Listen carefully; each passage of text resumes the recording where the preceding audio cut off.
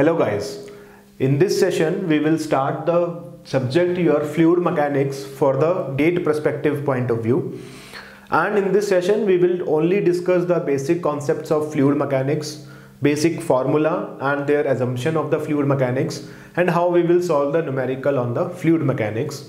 So it will help you in revising in the last moment अगर आपको revise करना है फ्लूड मैकेनिक्स तो अगर नोट्स पढ़ोगे तो fluid mechanics is a very lengthy subject it will take time and if you see this video then you will cover the fluid mechanics within the two hours and I will try to touch each and every concept of the fluid mechanics and each and every formula which on which there will be a question on the GATE तो अगर fluid mechanic start करें, सबसे पहले कुछ basic terminology देख लेते हैं। तो आपको सबको पता है what is the density density is mass per unit volume right so we can say density is your mass per unit volume so density को रो से डिफाइन करते हैं rho is equal to m upon v next is your specific weight so specific weight is the weight per unit volume and weight can be written as m into g divided by volume so the specific weight will be rho into g and we will show it with the help of small w right आपको fluid mechanics में small w से हम denote करेंगे your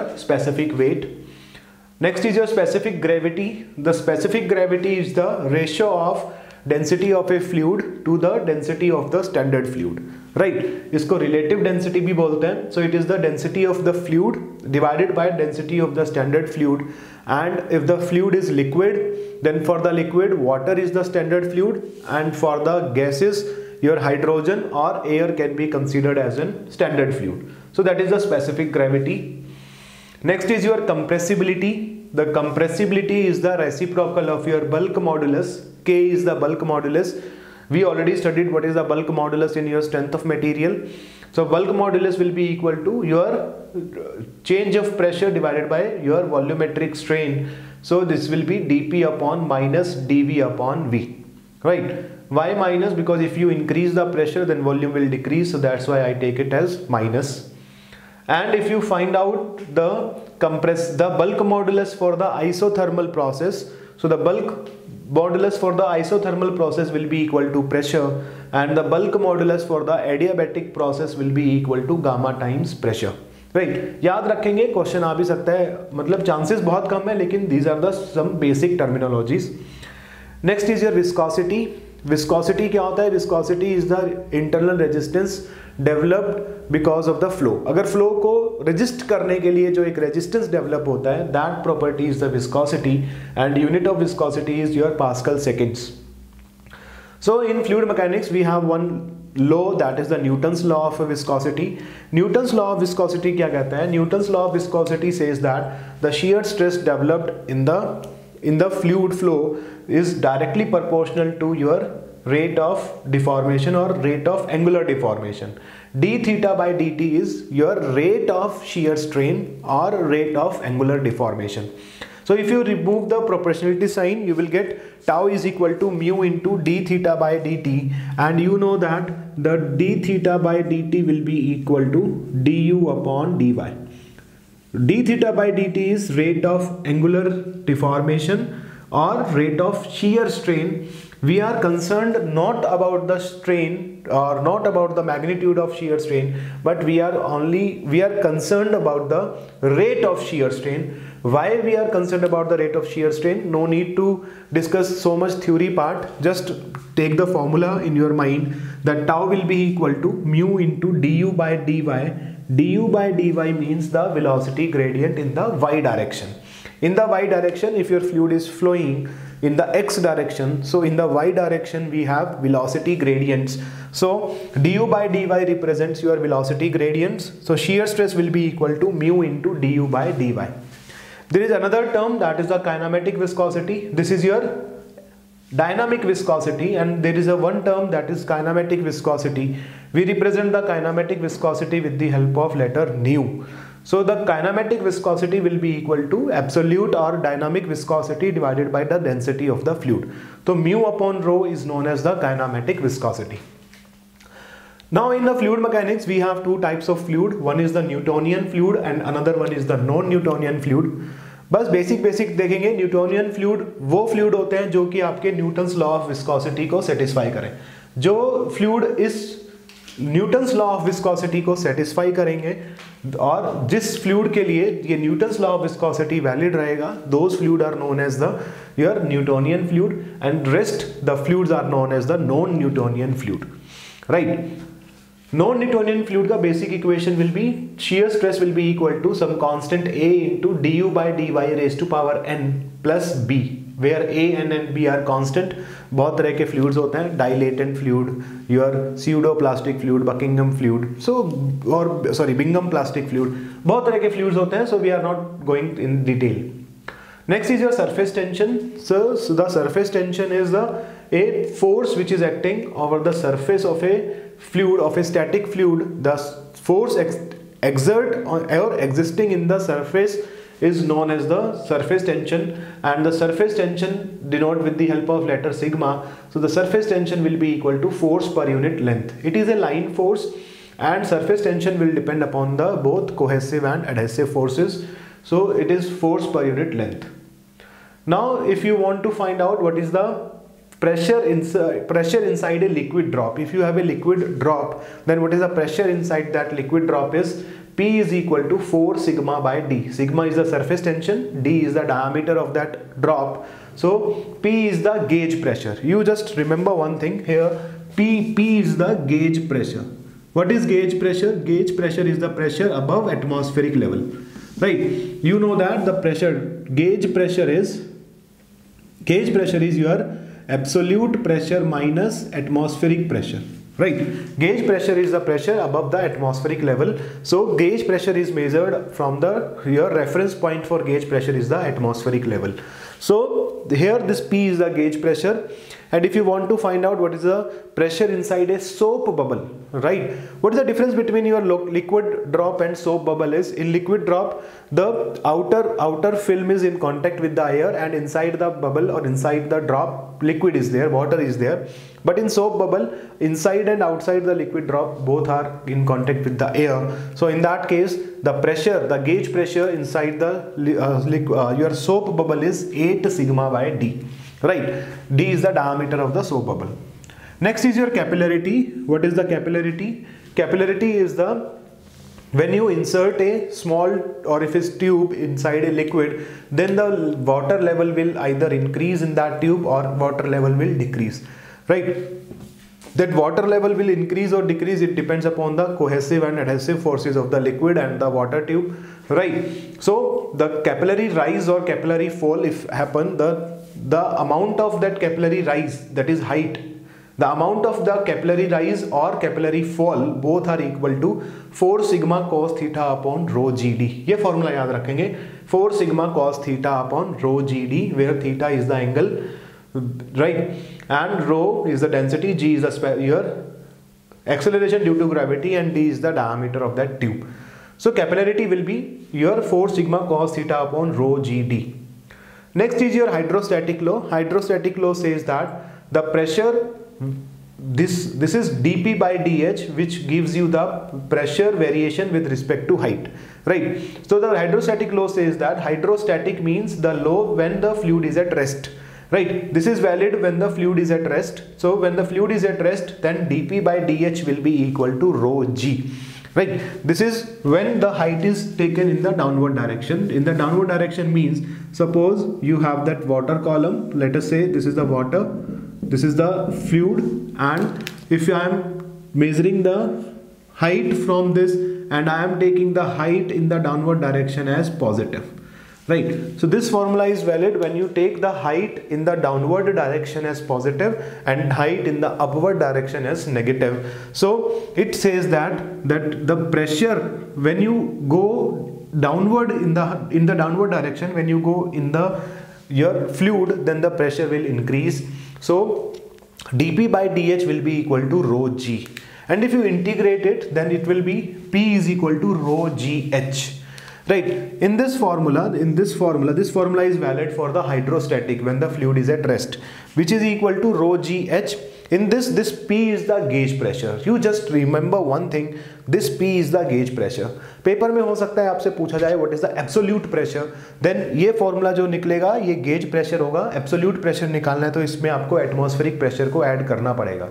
right right? Confuse नहीं होंगे, ये absolute pressure नहीं है। This is the gauge pressure is equal to rho G H H is the height of that of that point at which you want to calculate the pressure from the free surface. H क्या है? H उस point का height है जहाँ पे आपको pressure निकालना है from the free surface right so p is equal to rho g h. Free surface क्या होता है? Free surface is that surface at which the pressure is the atmospheric pressure right so free surface वो surface होता है जहाँ पे आपका pressure atmospheric pressure के इक्वल होता है तो ये हाइट आपको लेना है from the free surface and remember one thing this pressure is the gauge pressure so P is equal to rho G H it means when you go in the downward direction in the fluid then the pressure will increase जैसे जैसे आप fluid के अंदर जाएँगे, जैसे जैसे आप depth को नीचे जाएँगे then the fluid pressure will increase and that is equal to rho G H hydrostatic law एक चीज़ और बताता है हमको कि in the same fluid if the fluid is same fluid is same means the density is same. G is a constant. G will not vary. So, in a fluid, at the same height, the pressure will be same. अगर आपका rho same होगा that is means fluid same है जी तो same रहेगा ही. अगर height same है तो ये प्रेशर आपका सेम रहेगा. That means when a fluid is at rest जब फ्लूड रेस्ट पे होगा तो in a same fluid at the same height the pressure would be same right this is the concept of the hydrostatic law और इस concept को हम use करेंगे to measure the pressure और to measure the pressure difference ये आपको ज़रूरत आएगा जब आप प्रेशर डिफरेंस को मेजर करेंगे।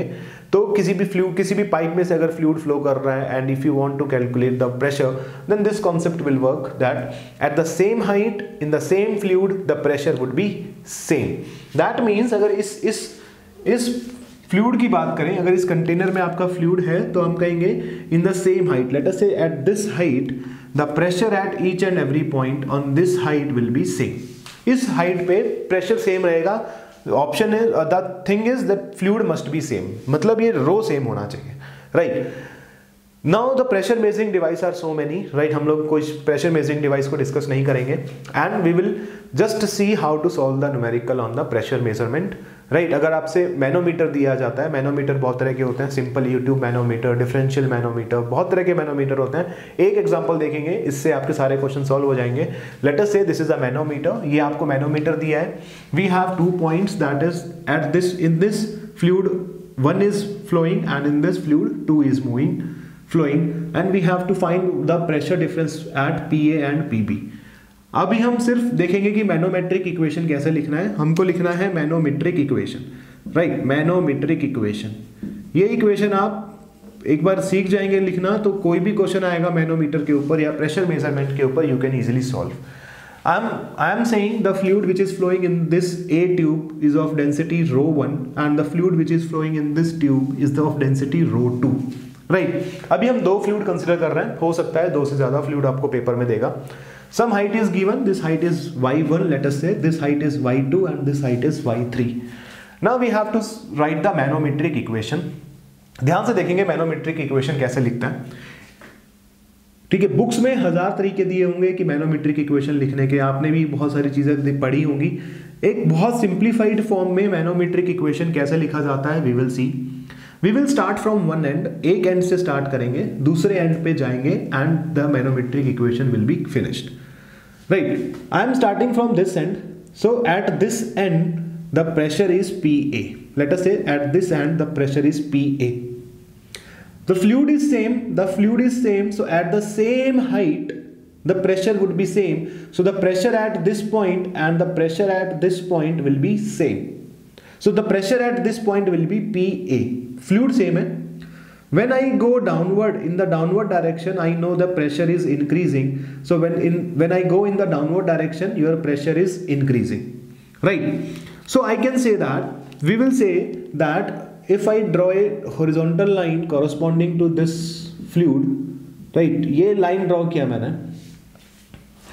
So this height is this height is y1 minus y3 right ये हाइट हो जाएगा y1 minus y three so from here if I come at this point अगर इस पॉइंट पे आऊँगा मैं तो कितना प्रेशर होगा? कितना प्रेशर इंक्रीज करेगा जब नीचे आऊँगा? तो प्रेशर अगर आप नीचे मूव कर रहे हैं then you have to take plus अगर आप आप इक्वेशन में ऊपर मूव करेंगे then you have to take minus क्योंकि प्रेशर डिक्रीज करेगा. नीचे आएँगे इस पॉइंट पे तो यहाँ से यहाँ नीचे आएँगे तो प्रेशर विल इंक्रीज कितना प्लस कितना प्रेशर होगा? Rho one g into this height that is y one minus y three right so ये क्या हो गया? ये हो गया इस पॉइंट का प्रेशर आप यहाँ पहुँच गए, इस पॉइंट का pressure is this one P A plus rho one into g into y one minus y three आप यहाँ पहुँच गए। We know one thing that when a fluid is at rest and the fluid is same, in the same fluid at same height, pressure would be same.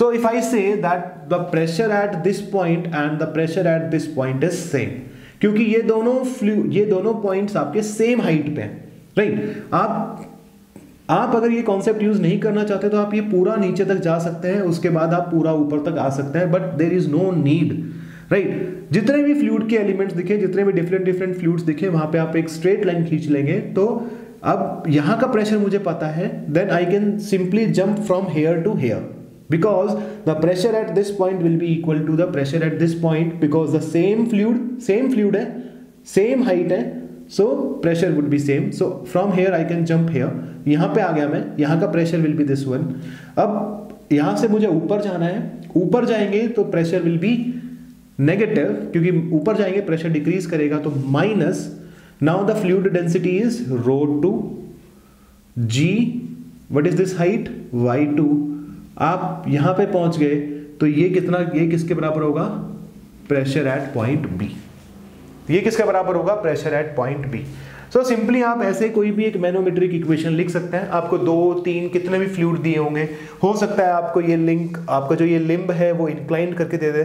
तो बस याद रखना this Y जो भी हाइट ले रहे हैं that is the vertical height हो सकता है कि आपको ये लिम्ब वो ऐसे इंक्लाइन करके दे दे at the angle theta let us say at that angle theta पे आपको इंक्लाइन करके दिया कोई भी लिम्ब सपोज़ तो इस केस में लेट अस से उसने बोला this limb length is y so you have to take this height you have to take in the rho g h में जो हाइट लेंगे, वो ये लेंगे तो ये हाइट कितना हो जाएगा? Y sine theta right this height will be y sine theta because sine theta will be equal to अगर सॉरी अगर आप बात करो, आपको ये हाइट लेना है let's say let's say this height is L so you know L upon y will be sine theta थोड़ा सिंप्लीफाई करेंगे तो L will be equal to y sine theta बस ये याद रखेंगे कि आपको वर्टिकल हाइट्स लेनी है। वर्टिकल हाइट लेनी है, ना कि इंक्लाइन लाइट अगर इंक्लाइन हाइट नहीं लेंगे, अगर आपको ये इंक्लाइन करके दिया है तो आप ये वाला वर्टिकल हाइट लेंगे that is equal to y sine theta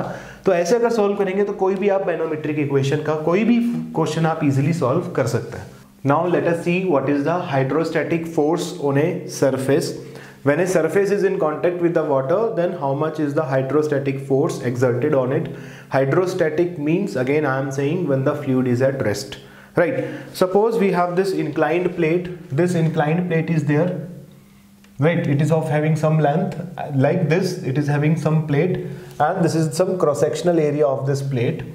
And this plate is inclined at an angle theta from the free surface and we can say that some force is acting at each and every point on this plate and this force is acting at a point which is known as the center of pressure now let us say this g is the center of gravity of this plate and the distance of the center of gravity from the free surface is x bar so what is x bar? x bar is the distance of center of gravity from the free surface. Always calculate the distance from free surface and we say that this is the center of pressure and the distance of center of pressure from the free surface is x bar cp cp is for center of pressure. Now the force acting on this inclined plate because of this fluid of density rho is rho ga a is the area. Area which area? This this area of cross section a into x bar where x bar is the height of centroid from the free surface. Always remember one thing we are calculating each and every height from the free surface and what is the value of this x bar cp the x bar cp formula will be x bar plus ig ig is the moment of inertia about this centroidal axis into sine square theta upon a x bar. From here you can calculate this x bar Cp. Right. If this plate is a vertical plate, then the angle you put theta is equal to 90 degree and if this plate is a horizontal plate then you can put theta is equal to 0 so in that case when the plate is a horizontal plate then x bar cp will be equal to x bar. And easily you can calculate the force on this inclined plates. Now let us find out what is the force on a curved surface. These are the force on a plane surface. Now if we have a curved surface like this so the force on a curved surface will have two components. One is the horizontal component and one is the vertical component. So, I'm not going in detail कि कैसे निकलेगा, क्या होगा। Just अगर question आया curved surface का तो आपको सॉल्व कैसे करना है, हम ये बात करेंगे। Let us see this is the this curved surface ये ऐसा कर्व्ड सरफेस है। Right here the fluid is here so this is the curved surface इस कर्व सरफेस पे दो फोर्स होंगी। One is the horizontal component another one is the vertical component so horizontal component कैसे निकालते हैं? Horizontal component force का horizontal component is the hydrostatic force on a vertical projected area right इस surface का एक vertical projected area लेंगे। एक, अगर इसको यहाँ से देखेंगे सामने से then it will like a square और a rectangle depend upon the dimensions तो ये आपको एक स्क्वायर या रेक्टेंगल दिखेगा, ये एक प्लेट दिखेगा रेक्टेंगुलर या स्क्वायर इसका अगर प्रोजेक्टेड एरिया हम, इसका अगर एक प्रोजेक्टेड एरिया यहाँ पे लेंगे तो हमको एक स्क्वेयर दिखेगा, अगर ये ऐसा सरफेस है। अगर ये एक स्फेरिकल होता तो हमको एक सर्कल दिखता राइट अगर ये एक स्फेरिकल सरफेस होता तो हमको एक सर्कल दिखता बट ये एक ऐसा सरफेस है सो हमको एक स्क्वायर दिखेगा। तो ये स्क्वेयर मान लिया यहाँ पे मैंने this is the projected area of this curved surface तो इस सरफेस पे, इस प्रोजेक्टेड एरिया पे what is the force that is F which is equal to rho g A x bar suppose इसका x इज़ हेयर सो ये यहाँ पे है इसका सेंटर ऑफ़ ग्रेविटी तो this distance from the free surface will be this distance will be x bar so the force on this vertical plate will be rho g a is the area of this, into x bar is this distance. And this force, this horizontal force is acting at the center of pressure. Right इस point इसका एक centre of pressure होगा. Let us say this is the centre of pressure centre of pressure हमेशा centre of gravity से नीचे होगा. ये theory का पार्ट है. आपको पता होगा कि centre of pressure centre of gravity से हमेशा नीचे होगा. So this distance x bar C P will be equal to x bar plus I G sine square theta upon A x bar and in this case x sine theta और theta will be 90 degree क्योंकि एक vertical plate है. Right right? तो यहाँ से आप horizontal force निकाल सकते हो। हॉरिजॉन्टल फोर्स कहाँ लगेगा? आपका सेंटर ऑफ़ प्रेशर पे। And the vertical component of the force is the vertical component is the weight of the fluid weight of the fluid contained by the surface up to free surface free surface तक उस free surface तक उस curved surface ने कितना fluid contain किया है? That is the the weight of that fluid is known as the your vertical force और vertical component of force कैसे निकालना है? कुछ नहीं करना है, बस एक सिंपल सा ट्रिक याद रखेंगे। इसकी ये दो एंड है। इन दोनों एंड को आप फ्री सरफेस तक खींच के ले जाओ। फ्री सरफेस तक एक लाइन खींच देंगे। इन दोनों एंड को फ्री सरफेस तक खींच के लेके जाएँगे। तो जो ये वॉल्यूम आया, जो ये वॉल्यूम आया, इसका वॉल्यूम निकाल लो, इसका वेट निकाल लो। राइट ये वॉल्यूम पता लग जाएगा कितना वॉल्यूम आया। Right this is the volume of the आपको वॉल्यूम पता है डेंसिटी पता होगा, इसका फ्लूड का डेंसिटी पता है तो we know that density is equal to mass per unit volume volume calculate कर लेंगे इसका तो मास कितना हो जाएगा भाई? डेंसिटी इंटू वॉल्यूम वेट कितना हो जाएगा? Density into volume into g right तो वेट पता लग गया this is the vertical component of force और वेट कहाँ लगता है? सेंटर ऑफ़ ग्रेविटी पे।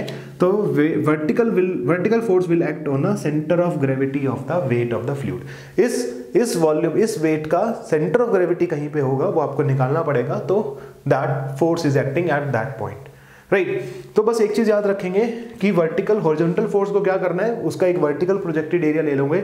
उसके ऊपर ये, इस फॉर्मूले से फोर्स निकाल सकते हो। वर्टिकल फोर्स निकालने के लिए वर्टिकल कंपोनेंट निकालने के लिए उस सरफेस के दोनों एंड को फ्री सरफेस तक I am again saying free surface तक उसको खींच के लेके जाएँगे एक्सटेंड करेंगे और जो वॉल्यूम आया उसका वेट निकाल लो that is the vertical component of the force right अब ये यहाँ पे फ्री सरफेस होना चाहिए। फ्री सरफेस मतलब यहाँ पे pressure must be atmospheric pressure ये याद रखना।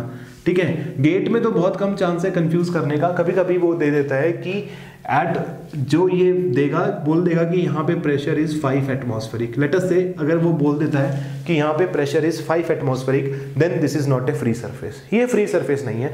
आपको एक इसी फ्लूड का एक कॉलम लेना पड़ेगा, जिसका प्रेशर यहाँ पे होगा फाइव एटमॉस्फेरिक तो कैसे लेंगे? तो हम कहेंगे five atmospheric is equal to rho g h density पता है जी पता है एच पता लग जाएगा. सपोज़ ये एच आ गया वन मीटर तो मतलब इस फ्लूड का कॉलम अगर ऊपर लेंगे वन मीटर हाइट तक तो ये जो सरफेस आया now this is the free surface इतना डेप्थ में जाने की ज़रूरत नहीं है, लेकिन फिर भी अगर क्वेश्चन आता है तो ऐसे सॉल्व करेंगे। अगर ये फ्री सरफेस नहीं है तो एक फ्री सरफेस ढूंढना पड़ेगा। वो ढूंढेंगे कैसे? जो ये प्रेशर है तो हम कहेंगे this much height of the this what this liquid का जो यहाँ पे प्रेशर आएगा rho g h that will be five atmospheric तो वहाँ से आप निकाल सकते हैं। ठीक है? तो ये फ्री सरफेस अब इन दोनों को उस फ्री सरफेस तक एक्सटेंड करेंगे और जितना फोर्स आया दैट इज़ जितना वेट आया that is the vertical force so total force total force कितना होता है? हॉरिजॉन्टल पता है वर्टिकल पता है is the under root of horizontal force square plus vertical force square this is the total force और कितने एंगल पे लगेगा वो आप निकाल सकते हैं उतना गेट में नहीं आएगा. Right right. सो so, ऐसे आप निकाल सकते हो force on a curved surface now let us move towards your next concept that is the buoyancy and flotation buoyancy क्या होता है? Buoyancy is the force on a body अभी क्या पढ़ा? Force on a surface force on a surface का मतलब दोस्त इस टाइम पे जो अभी तक पढ़ा आपने आपका सिर्फ़ ये सरफेस फ्लूड के कांटेक्ट में अगर इस पे निकाल रहे हो तो फ्लूड सिर्फ़ यहाँ है राइट right, यहाँ पे फ्लूड है इस साइड में फ्लूड नहीं है। इस कर्व्ड सरफेस के इस साइड में फ्लूड नहीं है fluid is here only right right. लेकिन अगर आप बॉडी की बात करेंगे तो बॉडी जब आप किसी भी फ्लूड के अंदर सबमर्स करेंगे तो उसका हर सरफेस वाटर के कांटेक्ट में है या फ्लूड के कांटेक्ट में है then at that time what is the force acting on that body is known as the buoyancy force so the buoyancy force का फॉर्मूला होता है the buoyancy force will be equal to the weight of the fluid displace उस body ने कितना fluid displace किया? जब when you submerged और emerge that body in that fluid तो the fluid displaced by that body and the weight of that fluid displace will be the your buoyancy force and buoyancy force will always act in the upward direction. Buoyancy force हमेशा ऊपर की तरफ़ लगेगा and buoyancy force जिस point पे लगता है that point is known as centre of buoyancy and the centre of buoyancy is the centroid of displaced volume ये याद रखेंगे centre of the centroid of the displaced volume I am again and again uh, emphasizing on the displaced volume? क्योंकि अगर body पूरा पानी के अंदर है पूरा फ्लूड के अंदर है if the body is completely inside the fluid then the fluid volume of the fluid displaced will be equal to volume of the body. But if the body is partially submerged, then the volume of the fluid displaced will be only that part of the body which is inside the fluid. तो उसी उसी part का centroid लेना है then at that centroid with the uh, center of buoyancy will act at that the at the centroid of that fluid displace right याद रखेंगे हम जो भी बात कर रहे हैं centroid of fluid displace I am not saying centroid of the submerged part of body body से कोई लेना देना नहीं है। हमको सिर्फ़ जो मेजर करना है that is the centroid of the fluid displace क्यों हम ऐसा कह रहे हैं? क्योंकि एक केस ऐसा हो सकता है कि आपका अगर मान लो कि हम कहें, अगर ये रब करता हूँ मैं तो suppose your body is like this right हम कहते हैं कि अगर मान लो this is the some your free surface I can say let us say this is the free surface and some body is flow is completely submerged in it let us say it is a symmetrical body पूरा body completely submerged है आपका fluid के अंदर the centroid of this body if this body is a homogeneous or is a uniformly distributed mass is अगर इस body का mass uniformly distributed है then we have no issues suppose in this case, the half body is made up of iron. Let let us say this half body is made up of iron, half body is made up of wood. Right? Body square है आप आपका आधा body wood का बना है आधा body iron का बना है then obviously one thing you must know that the centroid will be here only right क्योंकि आयरन का मास ज़्यादा होगा वुड के मास से राइट right. तो सेंट्रोइड थोड़ा आयरन के पास होगा, क्योंकि वेट आयरन के पास ज़्यादा है तो सेंट्रोइड थोड़ा नीचे की तरफ़ होगा राइट right. सेंटर में नहीं होगा centroid centroid of this body is not in the centre लेकिन अगर फ्लूड डिस्प्लेस की बात करें तो ये बॉडी इतना फ्लूड डिस्प्लेस करेगा and if the body is displacing this much amount of fluid and fluid is uniformly displace so the of that fluid displace is at centre ठीक है, समझे? Centroid of the fluid displace is that the centre centroid of the body depend करता है कि उस body के अंदर mass कैसे डिस्ट्रीब्यूटेड है। If the mass is uniformly distributed right अगर एक सिमेट्रिकल बॉडी ले और उसका mass is uniformly distributed then if that body is completely under the fluid, then the centroid of buoyancy and centroid of the fluid will be same.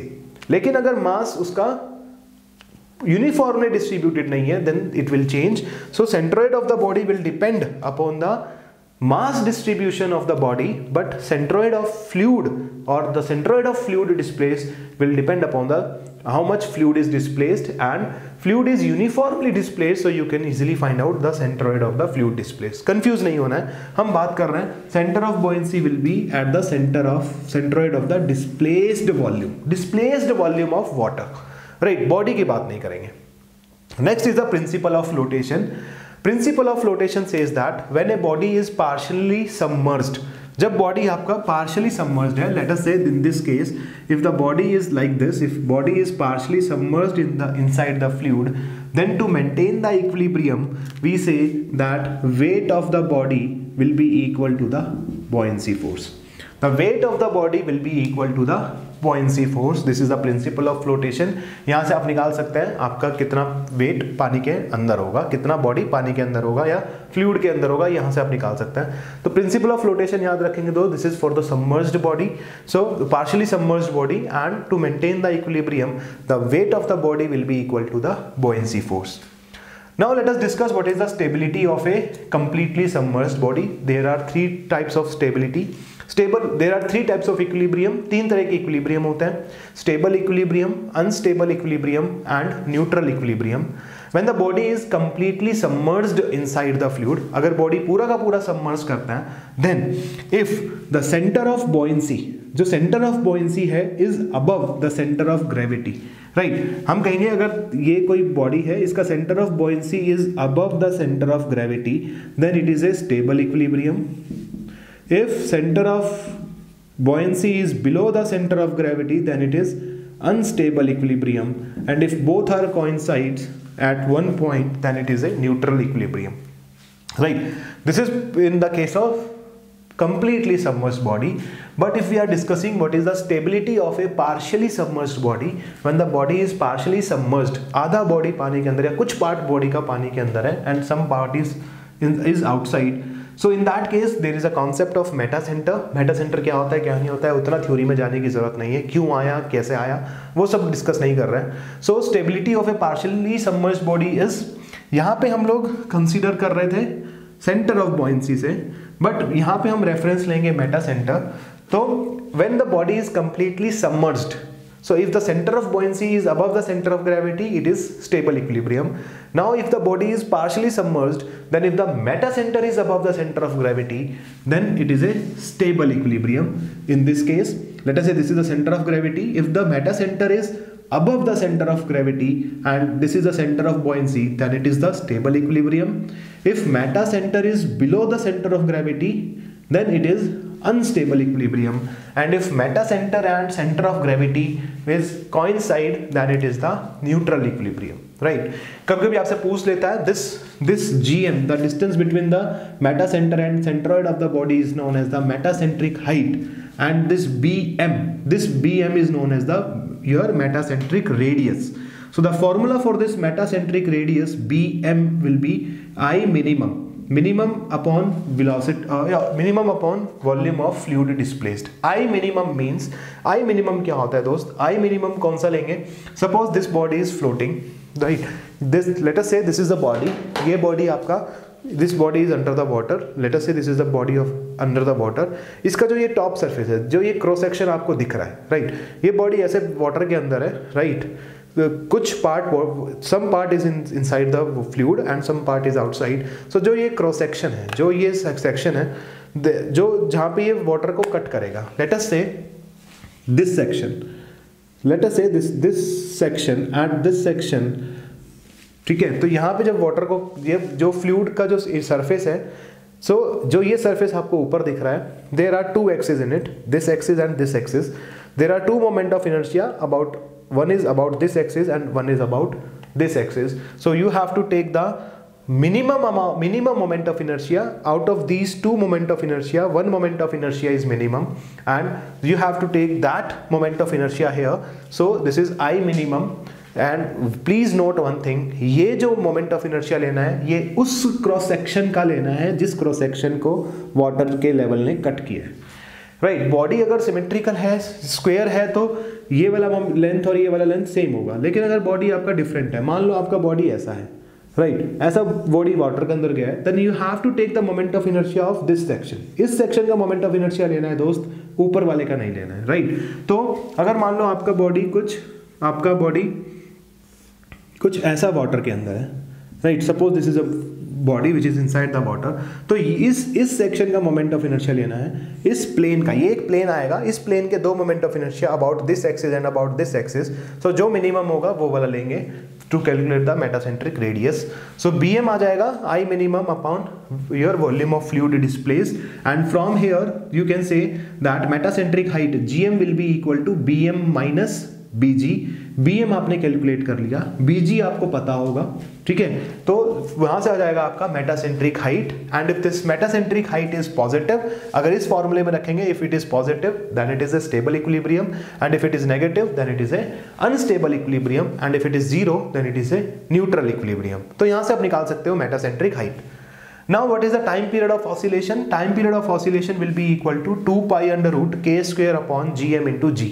right. This is the time period of oscillation. When the body is partially submerged it will oscillate and the time period of this oscillation will be equal to 2 pi under root k square upon gm into g where this k is the radius of gyration gm is the metacentric height and g is the acceleration due to gravity.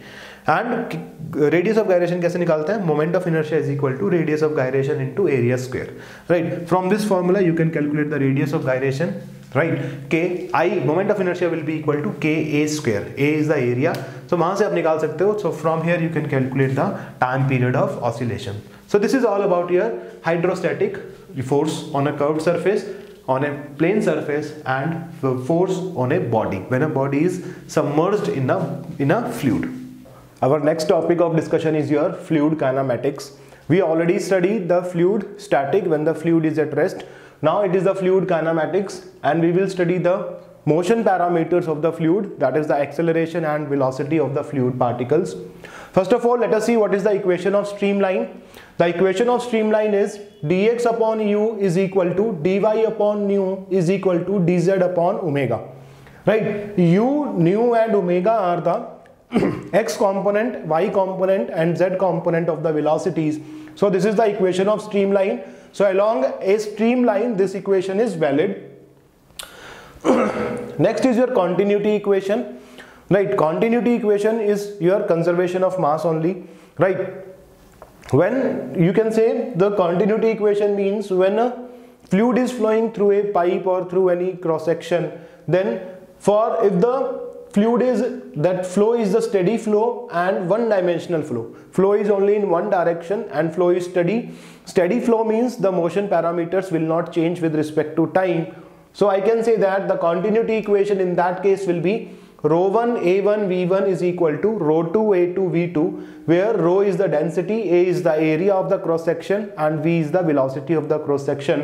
So between two points in a pipe if you say in a pipe if the fluid is flowing so between two points this is the steady flow equation or continuity equation if the flow is steady and one dimensional.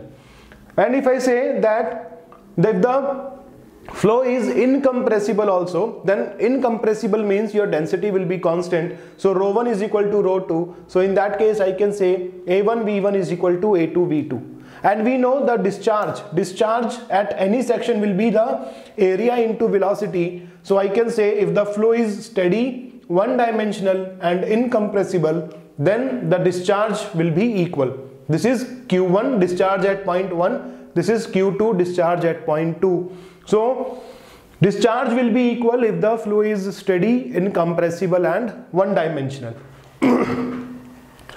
now let us see what is the generalized continuity equation. Generalized continuity equation means it is valid for both steady unsteady incompressible compressible flow one dimensional two dimensional three dimensional flow. So the generalized continuity equation means is the you have to learn this equation del upon del x into rho u plus del upon del y into rho nu plus del by del z of rho w plus del rho by del t is equal to 0.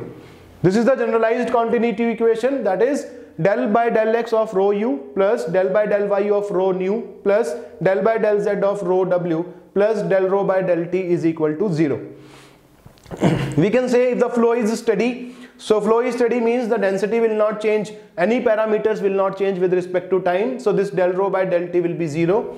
And if the flow is incompressible, so incompressible means your rho will be constant. So from here rho will come out the differentiation and if the rho is constant then del rho by del t will be equal to 0. So in that case the equation will be del u upon del x plus del nu upon del y plus del w upon del z which is equal to 0.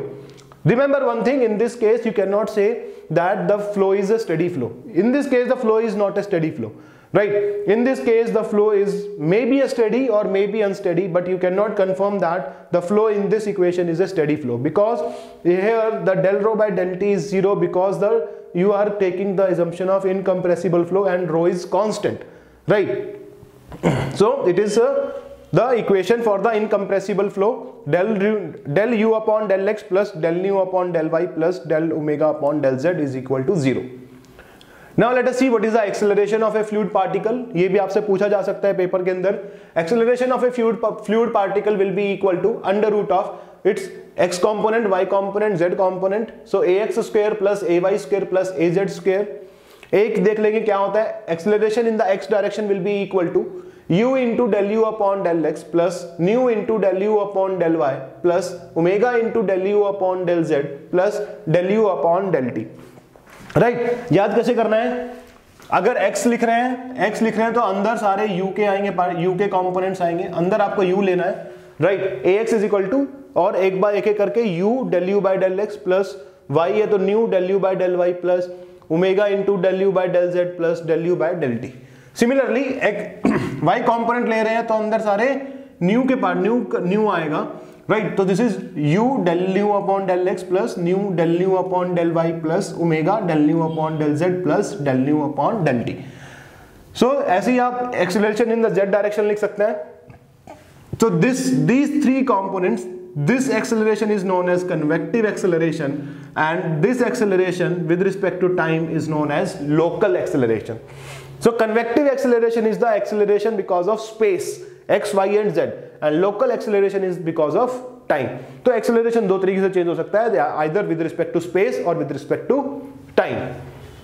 Next is the rotation of the fluid particle. Rotation क्या होता है omega is equal to यहाँ पे omega ये omega और ये omega same नहीं है दोस्त this is the z component of velocity and this is the rotational velocity right so rotation will be equal to 1 by 2 into ये मैट्रिक्स याद रखेंगे i j k del upon del x del nu upon del upon del y del upon del z u nu and w right बस एक चीज़ याद रखना ये याद करने का तरीका बता देता हूँ तरीका कैसे करते हैं हम लोग तो याद रखना x y z in clockwise direction हम लेंगे देखो कैसे याद करते हैं if you want to write omega x which is equal to 1 by 2 right x है x के बाद आएगा y z x after x this is y this is z right in between minus sign if here it is z then you have to take here omega component if it is y then it is new component right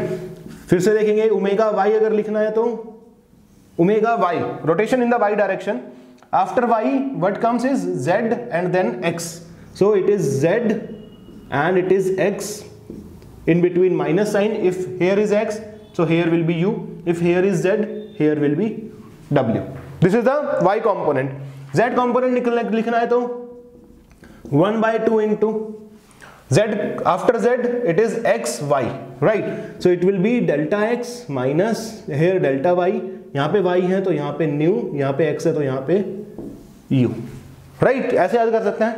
तो these are the rotational velocity in the x component y component and z component so vorticity कभी कभी पूछ लेता vorticity is equal to two times the rotation two times of this and circulation is equal to vorticity into area याद रखेंगे vorticity into area if the flow is irrotational flow then I can say the x component, y component, and z component of rotation will be equal to zero if all these three will be equal to zero then you can say that the flow is the irrotational flow or the fluid is the irrotational fluid rotate नहीं करेगा आपका flow करेगा Next is the stream function. Stream function is defined as the u is equal to, if I can denote the stream function with letter psi, so u is equal to minus of psi upon dy, del psi upon del y and nu y component is del psi upon del x.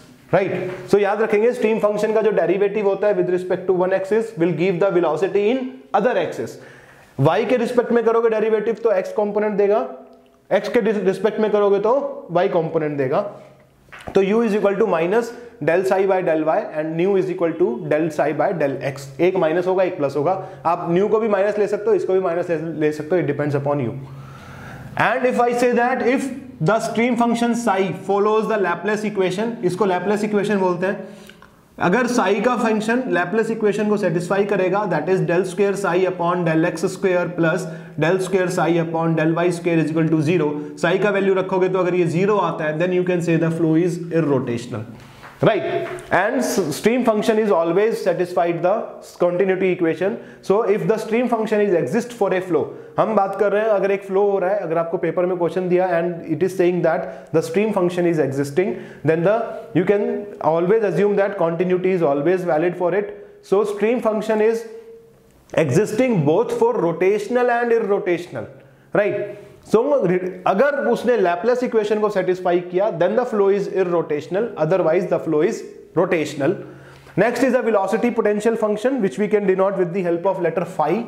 so the negative derivative of a phi with respect to one axis will give the velocity in that axis only so minus del phi by del x u minus del phi by del y nu minus del phi by del z omega right minus negative derivative in that direction will give the velocity in that direction only and if the velocity potential function is existing if the potential function is existing then it is existing only for the irrotational flow right? It is existing only for the irrotational flow. Potential function is not possible for the rotational flow. It is only possible for the irrotational flow. And if the if the potential function satisfy this laplace equation if the potential function satisfies this laplace equation, then only flow is possible.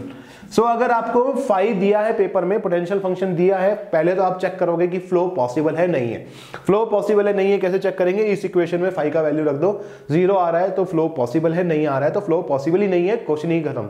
वहीं पे question खत्म हो जाएगा। लेकिन अगर आपको psi दिया है स्ट्रीम फ़ंक्शन दिया है तो फ्लो चेक करने की ज़रूरत नहीं है, क्योंकि flow is always possible if stream function is given and कभी कभी दे देते हैं then the discharge per unit length discharge per unit length will be psi one minus psi two between two point psi one minus psi two will give you the discharge per unit length and the equipotential lines the line at which this potential function is constant and the stream lines stream lines means the lines at which this psi is constant are always orthogonal to each other means if this is the line where psi is constant psi 1 psi 2 psi 3 and these are the lines where phi is constant phi 1 phi 2 let us say this is phi 3 so the angle between them is 90 degree right the angle between them is 90 degree they are orthogonal to each other and this is known as flow net so this is the fluid kinematics and just इतना ही पढ़ेंगे fluid kinematics के बारे में आपका सारे question solve हो जाएंगे stop